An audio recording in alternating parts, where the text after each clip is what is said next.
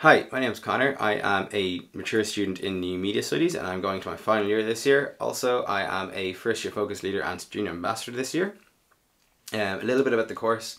Um, if there's anything you like to do with media, whether it's film, TV, podcasting, journalism, or the corporate slash business side of things, you're going to learn a lot about it in, in this course. As for the lectures of this course, they are very approachable and very helpful, no matter no matter if you're in first year or in fourth year. Um, as for the campus itself, there's also always a great atmosphere on campus. There's always events going on, either held by the Students' Union or by one of the many uh, clubs and societies uh, on campus. So yeah, look forward to seeing you there.